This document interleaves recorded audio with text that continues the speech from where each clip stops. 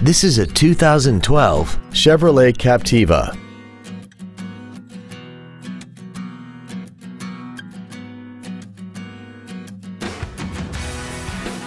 Its top features include skid plates, direct injection, a sunroof, traction control and stability control systems, XM satellite radio, and a tire pressure monitoring system. The following features are also included.